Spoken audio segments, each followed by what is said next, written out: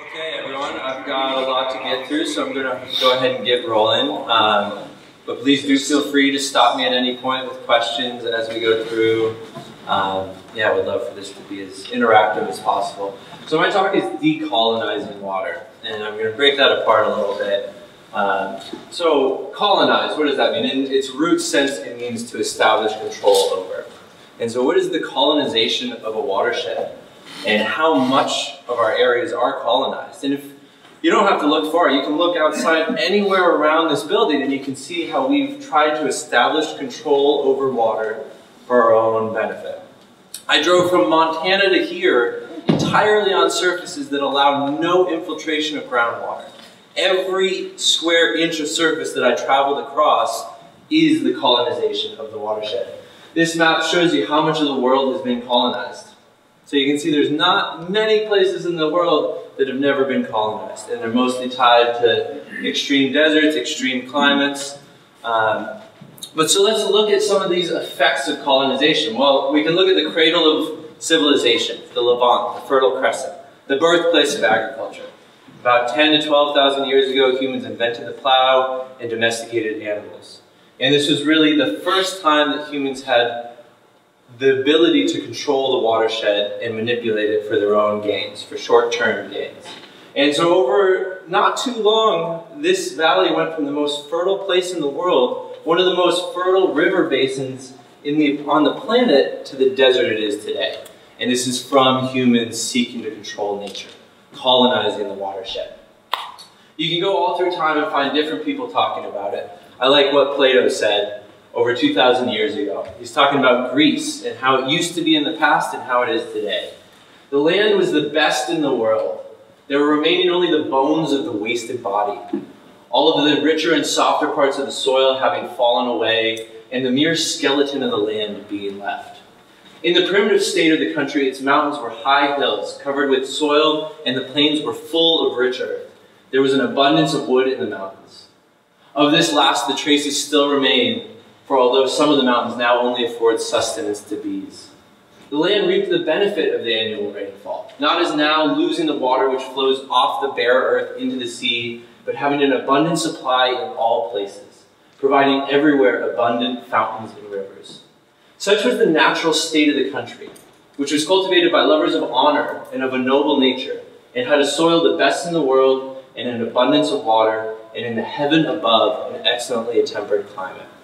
And throughout this, I'm going to start to draw those analogies and how our colonization of the water cycle is actually leading to the climate extremes. We now no longer have an excellently tempered climate with soft, balanced, seasonal, consistent rains. We now have these extreme surges followed by extreme drought. And so, what is the extent of colonization of the watershed? Well, it started here in the Middle East 10 to 12,000 years ago. And then as they started to degrade that place, these technologies slowly moved to other areas. First into northern Africa, six to 8,000 years ago.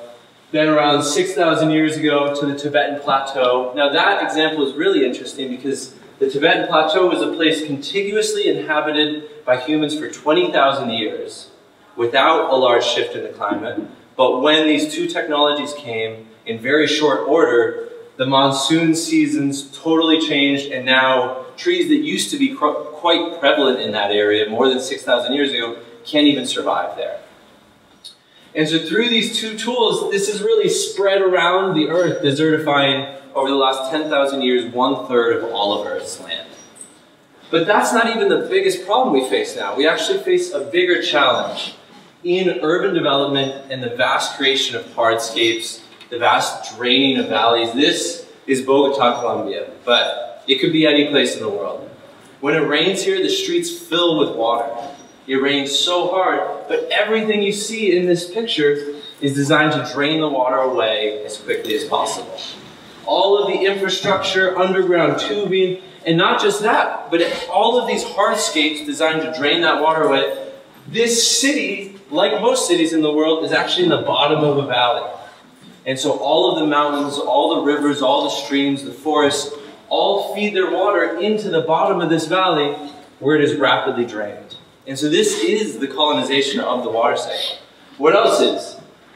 these horrific places you see, like mines, where we're really manipulating water and earth for our own immediate gains.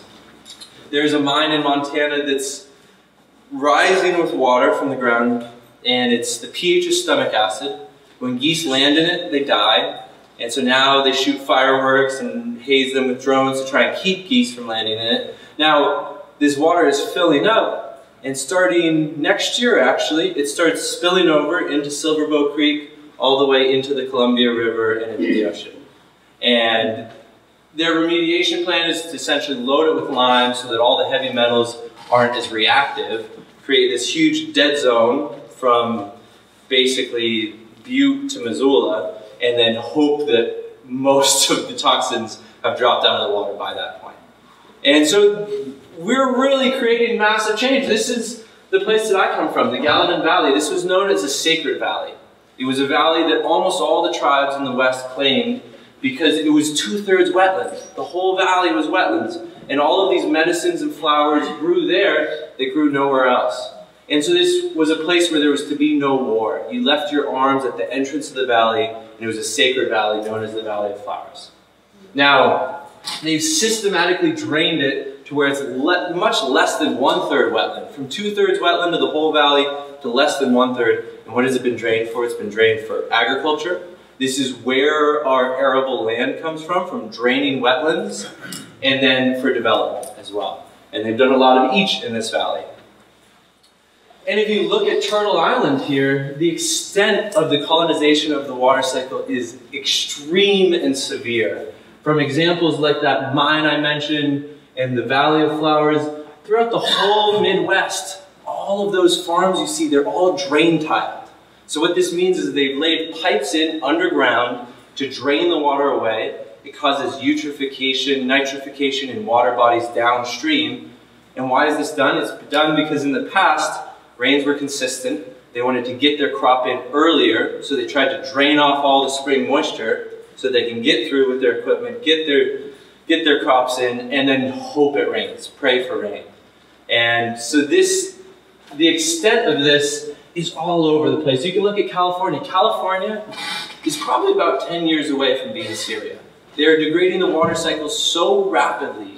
The aquifers are draining so quickly, and now what's happening is as the wells dry up, the big companies, the big farms just put in deeper wells. The small farmers can't afford to drill that deep anymore, so they have to sell off to the big farmers, and so the cycle is just getting worse. Worse and worse. And not only that, but this is actually blocking moisture from feeding into the Mountain West. So all of those heat bodies all along California are actually preventing a lot of the moisture that we used to receive throughout the whole Mountain West from even entering into the continent. And so what are the results of something like this? Well, a big one is flooding. When you take all that water, you expose all that earth, you try and discharge it as quickly as possible, the logical result is flooding. Then you have these severe droughts that follow the floods because all of the spring moisture that used to infiltrate into the ground has been shed away, and so you end up with these horrific droughts.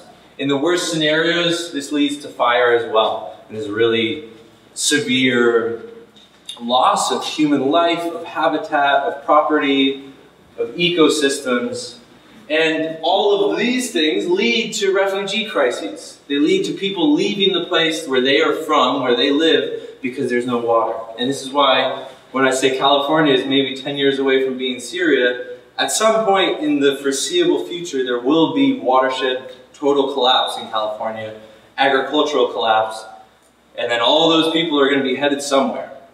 Uh, and then you get these horrific cases of starvation. There's enough on the planet for everyone, but it's from our desire to control water that we're creating. There are no natural disasters. All of these disasters are the direct result of human management. And so this is what I call the half-water cycle, Viktor Schauberger's half-water cycle. One of the biggest things going on here is the temperature of the soil. The temperature of the soil has a big impact with how it can absorb the falling rain. And so when you have these areas that are cleared, all of these bare lands from agricultural fields that are much more exposed than the forest that used to be there, or the perennial grasslands, to bad forestry practices, where we plant a plantation of one species, cut it down all at the time, same time, And so what happens, all of that water that used to infiltrate now just runs quickly downstream, leading to that flooding and erosion and eutrophication of the water bodies, followed by drought, followed by fire. And so humans in their infinite wisdom, now we drill into the deep water, sucking that dry, and just increasing the rate and intensity of desertification. Now, the climate impacts of something like this, you have all of these columns of hot air rising off the bare earth, pre preventing that moisture from even entering. And so what happens is as the high pressure hot air pushes against the lower pressure humidity, the pressure builds. Eventually it comes over that wall, and like in hurricanes like Harvey and Houston, you just get this elevator pump where it just moves water from the ocean. So you get these huge, horrific, catastrophic, dangerous storms with drought and fire in between. So this is that's the story of the colonized watershed. And I want to summarize this with uh, this is a quote from uh, two musicians called A Tribe Called Red. Uh, the human beings, the people, this is talking about the original state, see the spiritual and the natural through sense and feeling. Everything is related. All of the things of the earth and in the sky has spirit. Everything is sacred. Now, this is talking about colonization. Confronted by an alien nation, the subjects and the citizens see the material religions through trauma and numb. Nothing is related. All of the things of the earth and in the sky have energy to be exploited. Even themselves, mining their spirits into souls sold, until nothing is sacred, not even their self. This is the world we're living in, but it doesn't need to be. We can very quickly move back to this previous state if we choose to. The earth literally is in our hands. It's our choice whether we want to live in these extremes of fire, flood, and drought, or whether we want to live in a nice, balanced, comfortable, vibrant, vital world. And so what does the decolonization of the water cycle look like? What does that even, what does that mean? Well, the first step is in our relationship with nature, in our relationship with water. And so these are three things that I think are very important in building this relationship. Water is one of our relatives, and we have to work for it. Just like you work for your child, for your partner, for your parents, we have to work for water as well. And so one of the biggest things, if you leave here with nothing other than this one thing, I want it to be that every day you spend some time with water.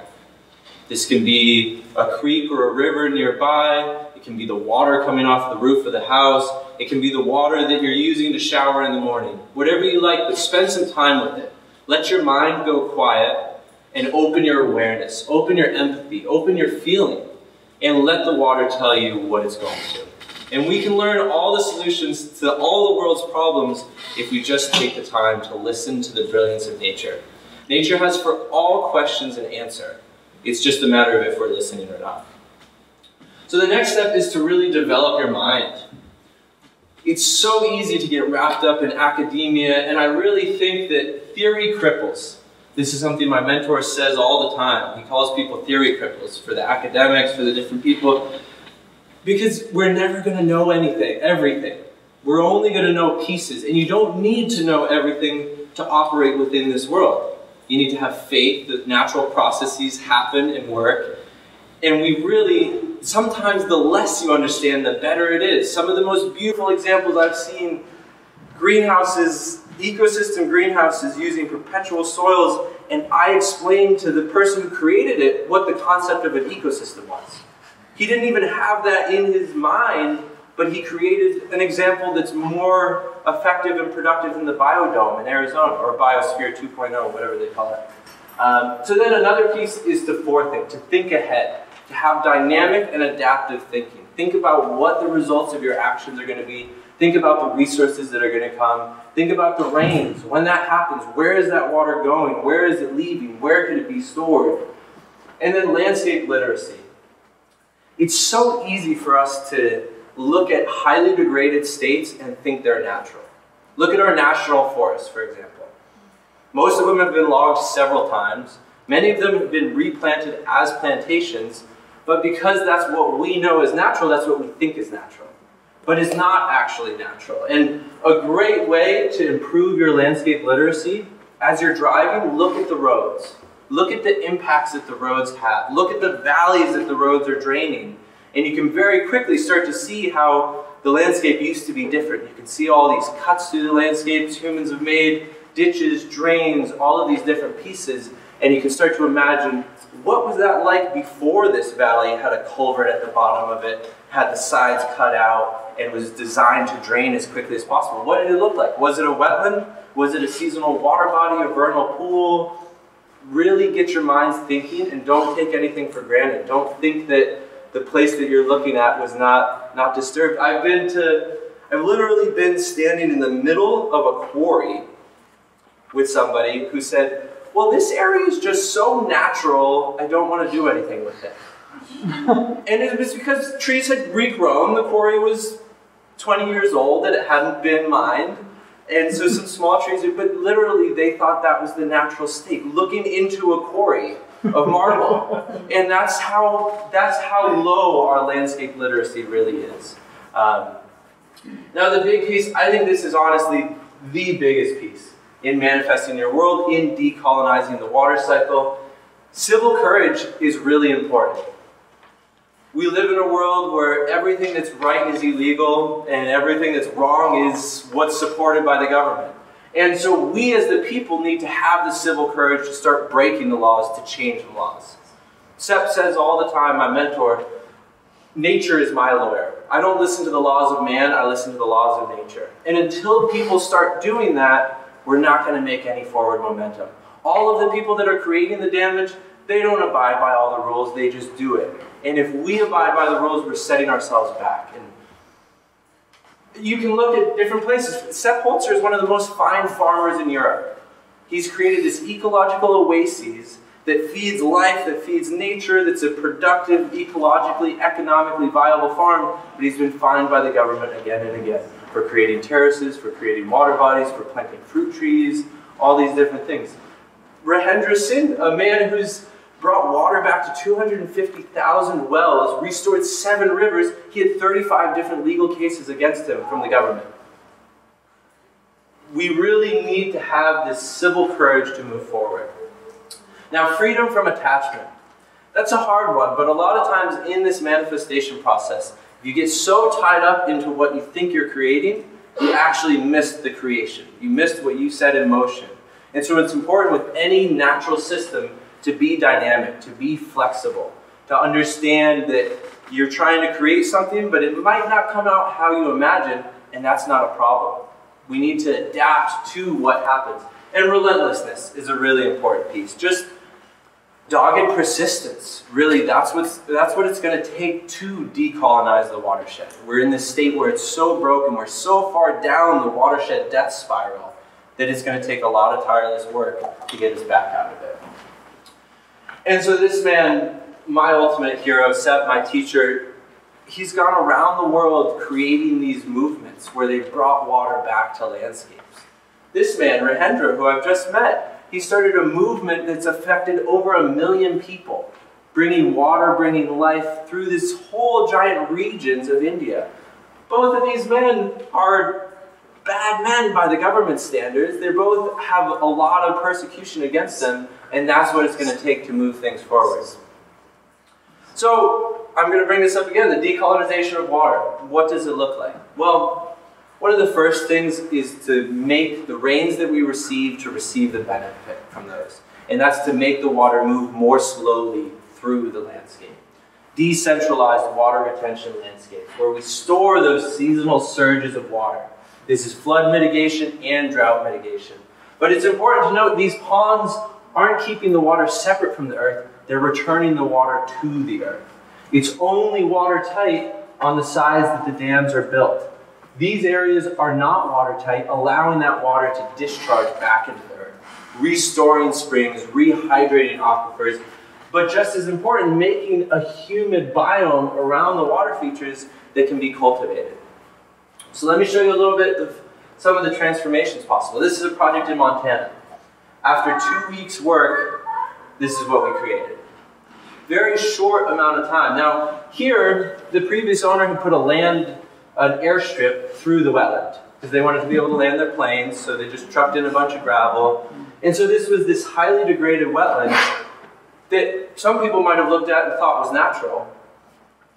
And this is what we created there. A two and a half acre pond, a series of connected water bodies, a kilometer of hugelkultur. And now you can go to this place at any time of year and find tracks from every type of wildlife in Montana.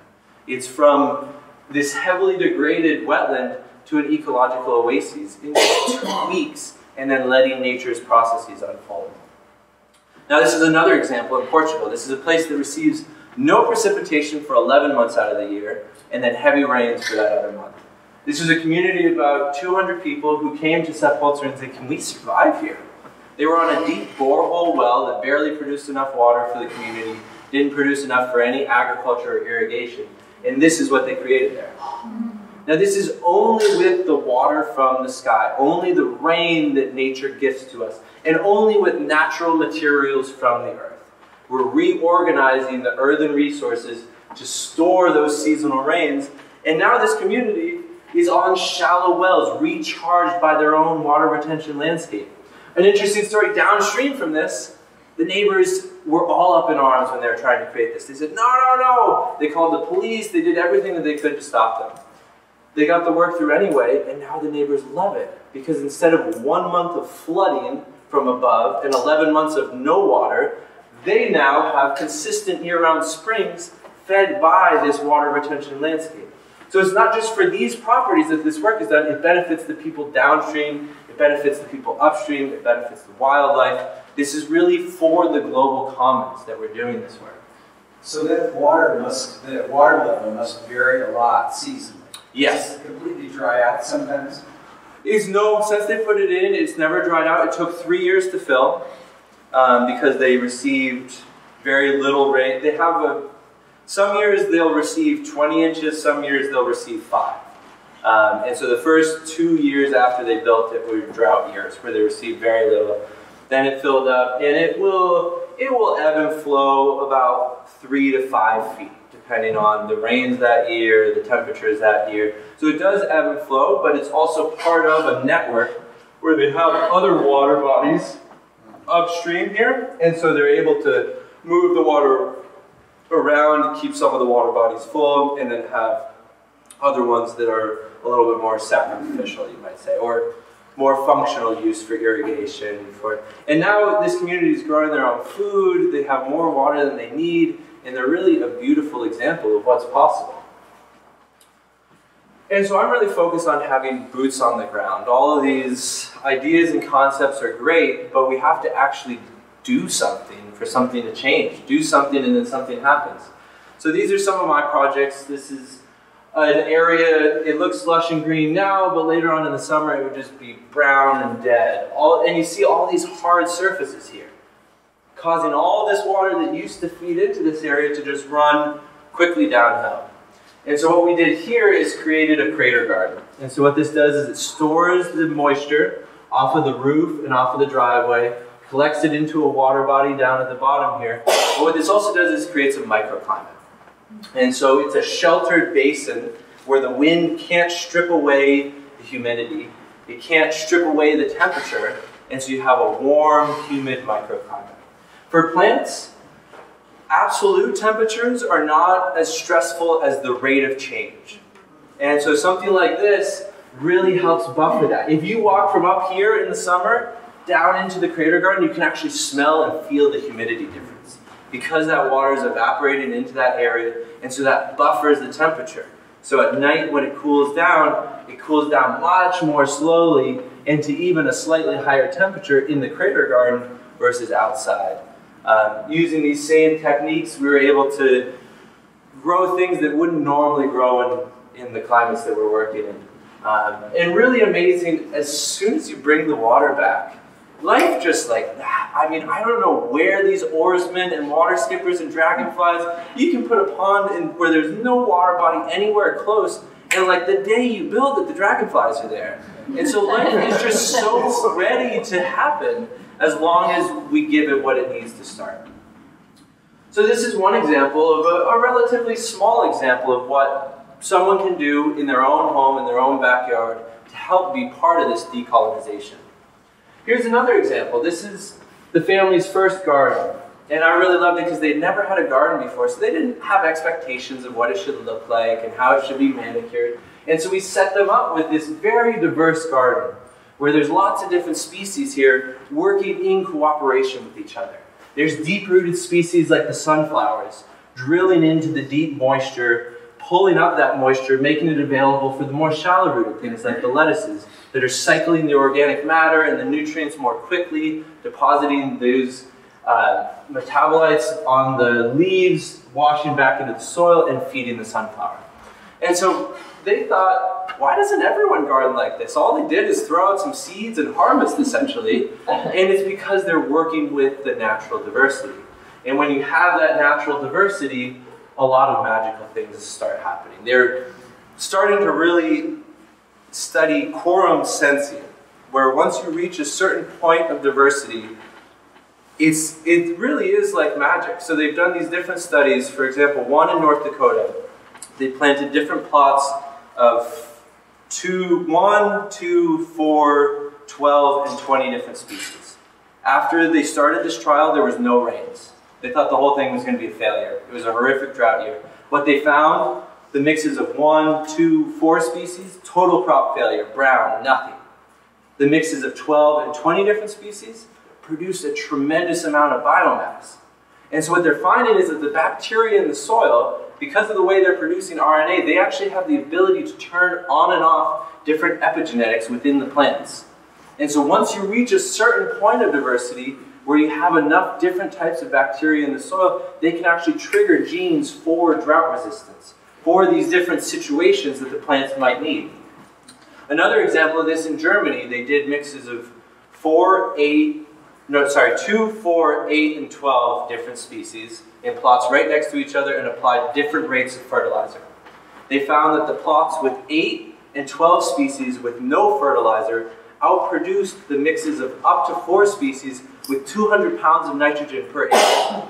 So less diversity with a ton of fertilizer still didn't match with the more diverse system. So this is a really important piece of the water cycle the plant diversity that we cultivate. So here's another example, a natural swimming pool. And so if you think all of the pools that are out there filled with this toxic water that for one, is causing issues for the humans swimming in it, but two, is causing a lot of wildlife loss. Every day there's dead things in those pools. Now, if we can start to use natural processes to clean the water, to create clean water to swim in, where we're using the oxygenated zone, we're using the bacteria to filter and clean the water, we're using the plants to comb nitrates and phosphates out of the water, we have a deep zone with charged water. Now this becomes a habitat feature. Now all the songbirds have a place to drink, all the wildlife has a place to drink, and it's a healthier body to swim in. And so there are different ways you can convert a current pool to a natural swimming pool. But this is just another simple thing that humans are going to do anyway, but we could do it in a way that's really beneficial to our surrounding environment and to our relatives. This is another example in Ecuador a project that we did. Um, this was in a cloud forest, but an area that had been so severely abused, it browns out for six months of the year because the heat down there is so severe. So here what we did is we created this network of terraces and water bodies so that when those big surges come, they can really infiltrate into the earth. And so how do we go about creating something like this? Well, the first step is to really look at the geology, to look at the materials and the sediments that you have to work with and to understand what they can be used for. And so what we're always looking to do is find a place to build a keyway dam. So what this is, is we're tying into a natural clay layer that's already there, that's already watertight. So we're hunting for that layer. That's what I'm doing down here in the bottom of the hole. And then we have to find the material to pack into the middle of the dam. That's our nice clay-rich material. Has to be at the right moisture and the right level of compaction to hold the water. And we basically make a barrier for the water on just the downhill side. Now, because what's happening, we're just using that natural clay layer, so it doesn't just store the water in the water body itself, it stores the water in the earth all around the water body as well. And so what this means is each inch you lose to evaporation, it's actually being recharged by the soil, by what's stored in the soil here, And many times you're actually storing more water in the earth than in the water body itself with one of these keyway dams. And so this is what it looked like after the first rain once it filled up. Now, another part that I consider part of decolonizing the water cycle is looking at where we're getting our drinking water from. So this is a spring tap. Spring water is really the only water that's drinking water. If you drink rainwater, it's distilled by the sun, but it has no minerals. You'll eventually have problems with different mineral shortages. If you drink well water, this actually doesn't apply for the Northwest because of the types of formation that you have with this very hard basalt. But in most of the world, if you drink well water, it's loaded with way too many minerals. You'll actually have calcium deposits, you'll have joint trouble later in life, all of these different issues. Now, spring water is the perfect mix. It's water distilled by the sun, but then charged and mineralized by the earth. This is the water that humans have drank forever until we had the technology to do otherwise, and it's really the water that will help heal you. And so how do you do a spring casing? Well, first, you very gently dig out the spring so that you have the running water. You lay in a pipe with slits on the top two thirds, not on the bottom third. Then you fill that with washed round gravel. So what you're doing is you're basically making a little cavity here that allows the water to fill up. You build a little dam there, gravel, cover it back up with clay. And so what this means is you're taking the water out of the earth in those subsoil layers where it's making it available to you, where it's this nice, clean, charged, healthy water, and you're, with as little effort as possible, putting that into a pipe so that it can be used otherwise.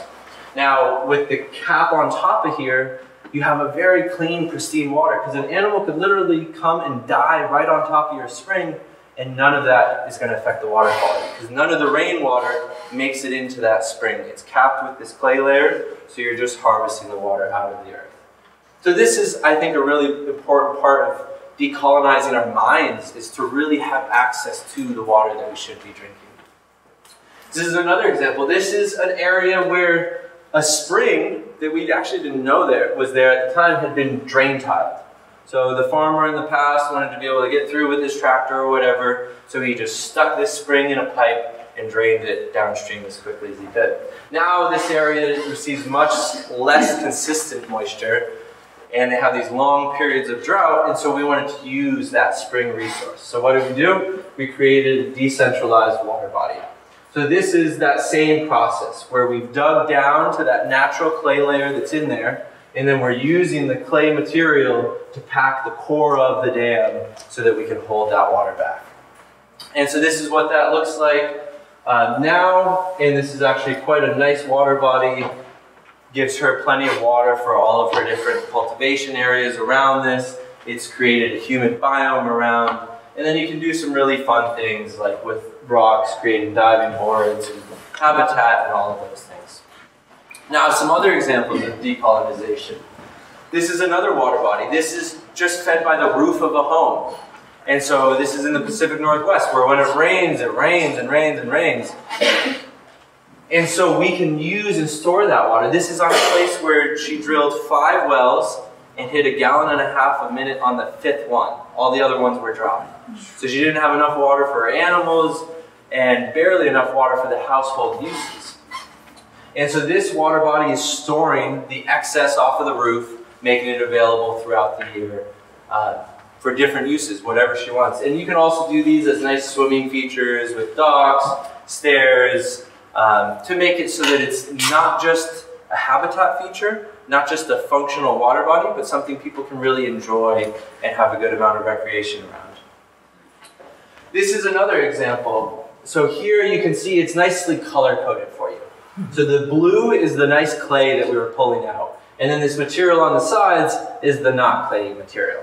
And so it, you don't have to create the whole dam with your watertight layer. It's just the center of the dam so that you can really concentrate that. That's what helps hold the water. And you're basically making a giant shock absorber. So that when that water moves through the earth, it hits this wall and it has to fill up before it can continue on. And so now that makes that water available to all the rest of life, but also feeding it back into the earth rather than quickly running downstream. So this is a farm that they were developing for their children. This is an old dam that was in that was leaky, but their only source of water. So we put this new dam in so that we'll be able to repair that one. Uh, so that one, the level really goes down here again, we hit some nice springs that are starting to fill the water body. Um, and it's really important whenever creating a water body that you consider where the water is going to go when there's overflow. And that is a critical part. You want the water leaving on undisturbed grade, on natural ground. It should never cross the dam itself. That's a very dangerous proposition. Uh, and so that's something really important to consider whenever creating water bodies. So this is what that looks like later on once the rains have started. Um, and really, there's this growing movement of people around the world that are so ready to implement these changes. They're just dying to. They want to help the world, they want to live in a beautiful place, but they don't know what to do. And so I find myself called all over the place. Last year I worked on five different continents. And it's amazing to me that in all these different biomes, they're all experiencing the same problems from the colonization of the water cycle. People are shunting all the water away when it comes, and then complaining about the droughts and the fires and the different issues that they have that are really just a result of their own issues. Uh, so this is one of those projects in New Zealand, and in just three weeks we got this young family set up with springs tapped, with terraces for cultivation, with a small water body, um, all within a short period of time as they move out and start to homestead their own land. Now this is in that same area. This is uh, a bay in Raglan that used to be one of the most productive fisheries in the world. The indigenous people, the Maori, used to joke that you could walk across the water on a fish there. Now, what happened with all the dairy coming out of New Zealand, the fishery collapsed to the point where there was no commercial fishing happening in this bay anymore. The people were really bothered by this. This is a really ecologically aware community, and so what did they do? They organized amongst themselves a movement of civilians taking civil courage, and in just 10 years, they restored this bay to the point where there's again a commercial fishery. It's not as strong as it used to be, but it's recharging and it's again viable enough to actually harvest fish out of the bay. How did they do this? Well, most of it was by decolonizing the watershed, by giving areas back to the water. And so in this case, all they really did is they fenced the cattle out of all the riparian areas. This allowed the water to reclaim those areas those biological filters to restore, and all the sediment that used to be washing out into this bay, causing these algae blooms, causing loss of oxygen, causing the death of the cycle, now are mitigated because they allowed areas to return to the water. Uh, so this is another project in Australia where there was a worm farmer, had incredible demand for his worms, but not enough water to keep growing them, to keep them cool throughout the year. Uh, and so here we created this water body down at the bottom to store that in a network of terraces and leachate ponds so that he has more area to work on this very steep ground. The first rains filled it right up and now in, I just heard from him a little while ago, in one of the worst droughts in New South Wales, he has more water than he needs. And this was, again, this was like a one week project, maybe two, but really you can make a big impact really quickly. Here in Uruguay, a landscape that's scrub and everything spiky and slightly poisonous and uh, a really harsh place, really difficult place. But here too, it's possible. And so this, I apologize for the shakiness of the video, but shows you a little bit of the process of building the water body. So taking out the different sediments from here's a spring feeding into this area and then starting to build up our dam here. Um, the spillway comes out this way at the edge on undisturbed grade and so we're really carefully moving and settling materials through there. Nice rock armoring any places that get steep so the water isn't causing erosion. And in those rocks and around those live the bacteria that filter and clean the water. So that's another piece of that cycle. Now this one, the water body actually collects the water. They have a nice swimming feature, but they also have water for irrigation for the different parts. Their house is up here. But then in addition to that, we actually created a terrace so that the overflow water from this water body works all the way around the landscape and then returns back into the same creek to which it flows. So what we've done is basically where this used to just run 100 feet straight downhill into this deep incised creek that swells seven meters in the rain, now that water moves hmm, 2,000 feet more across the landscape before it rejoins with that water feature. And so really just slowing the rate at which water moves through the landscape, That's one of the biggest things that we can do to positively impact it. Uh, now, this is another project in Mexico, up high on a mesa. No one lives up here because there's no water. No one can drill a well deep enough. Fires come through every year. But even in this kind of harsh place, it's possible because they get these huge rains when they get them. And so here with the terrace, this was actually continued later on in the project. Terrace through here helps catch all of that water, store it in the water body where nature naturally wanted to keep it anyway.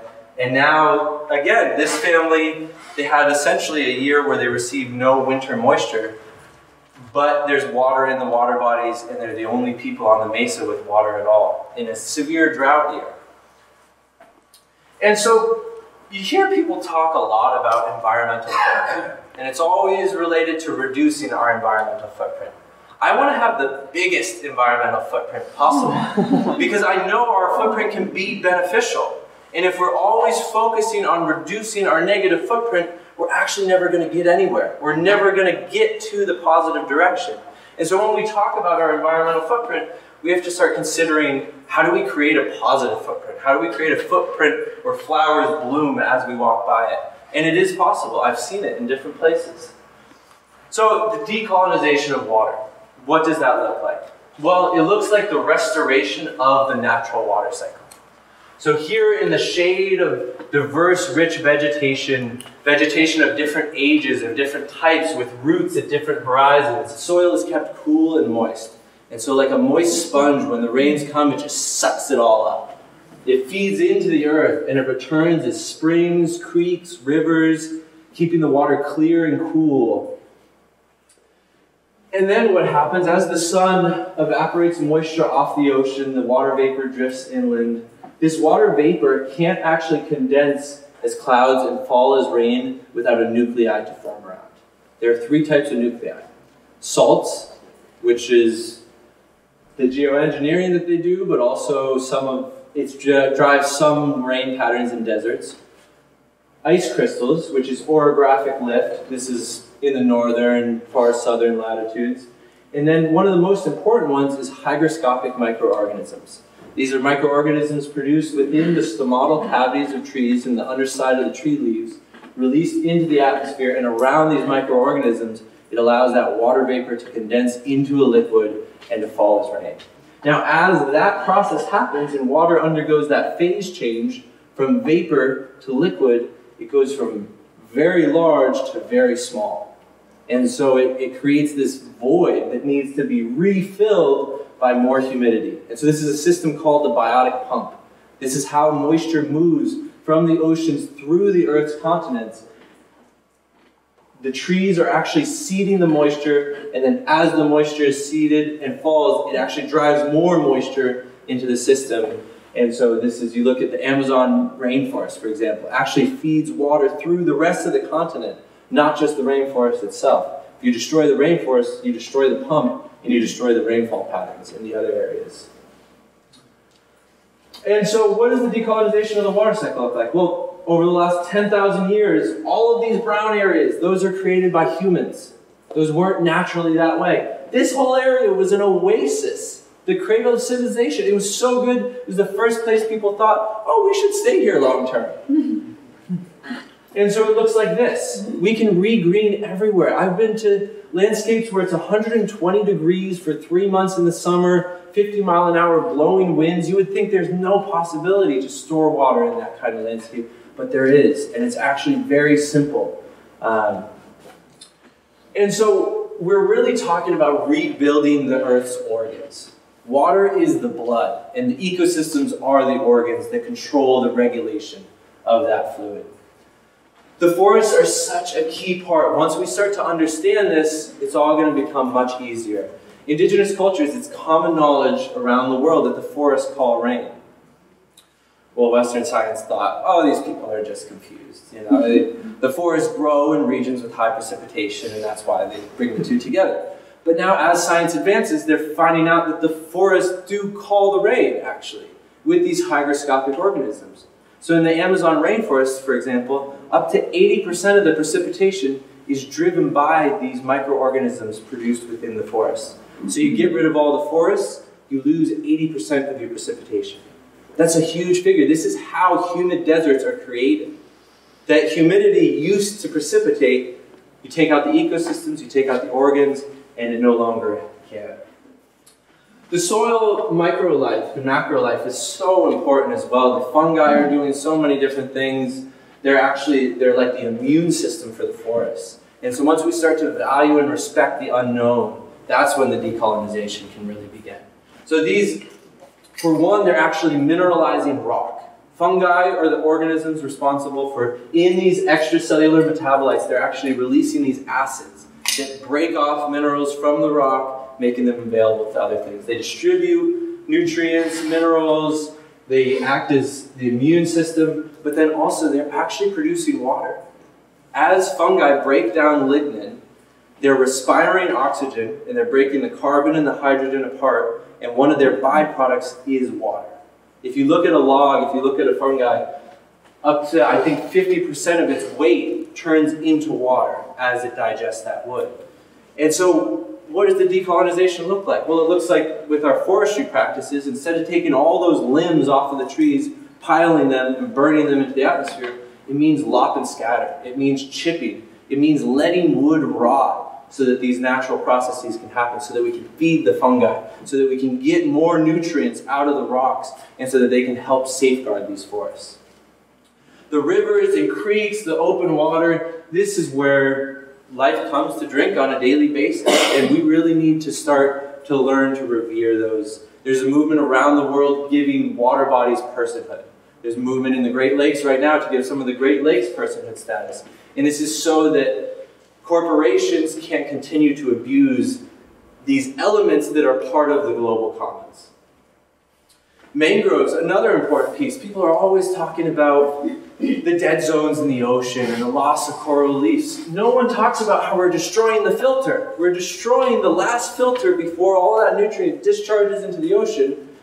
We think the discharge into the ocean is the problem. The problem is that we're killing the organs. These mangroves are such an important piece. The seagrasses are such an important piece. All of these are vital parts of the body. What happens when you cut off blood to one of your organs? The organ dies. The same thing is happening with the earth. If we cut off the blood, the organ starts dying. So what does the decolonization of the water cycle look like? Well, it looks like turning our public works into public works that's actually working for the public. It means turning the Department of Transportation into the Department of Transportation and Water Retention.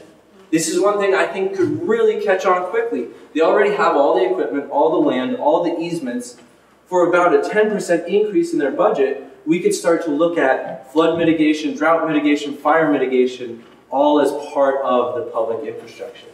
What does it look like? It looks like a Green New Deal that isn't a technological solution to all of this, that actually models the New Deal.